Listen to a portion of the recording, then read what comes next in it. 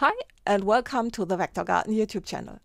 Let's talk about snapping in Affinity Designer. And snapping can be turned on for objects and paths and for working with the node tool and the pen tool. And particularly interesting is the snapping for points and handles. So points are called nodes. Let's stick to that. This is the node tool and it kind of works like the direct selection tool in Illustrator. And I've also turned on some general snapping options in here. And you see I've set up snapping to object bounding boxes and also the midpoints. So these work as well in this case. Now, the interesting part here is that you can select multiple paths and then just work on one of them. So I can just take a node here and move it around and the other one stays where it is. Now, one of these options is always pressed. It's that one in the center, but when I press this one, the other one goes off.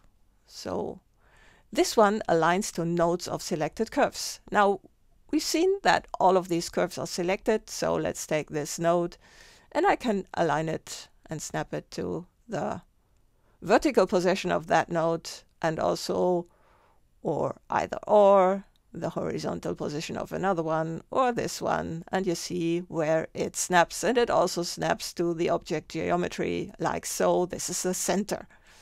So that's the first one. Let's turn that off and go to the second one which is snap to geometry of selected curves. Now the first one just selected to the position of the nodes and this one also snaps to the geometry itself. So it snaps to the path like so, which is nice.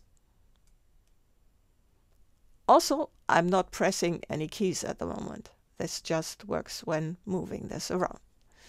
So let's turn that off, go to the next one.